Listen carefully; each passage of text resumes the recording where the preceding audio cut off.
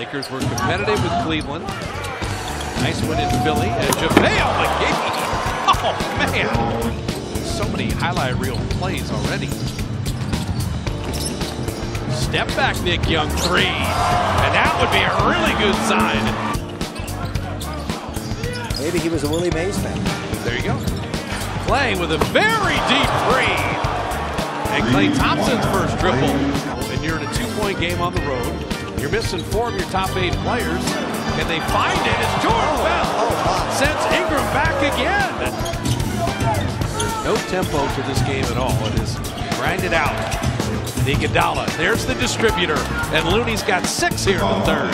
West comes up with it. And rather than risk throwing it away, he says, okay, may have a break, but Iguodala with the two-hander. Bette Davis eyes. I'll let you think about that. Okay. Nick Young a show and go, and Iguodala says enough.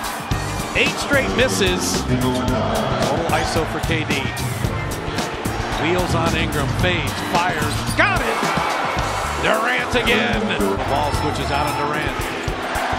Durant wants all the screens to go away. KD crossover, jumper, got it. Six seconds of defense. Six Stop the ball with ball. At four, Lonzo.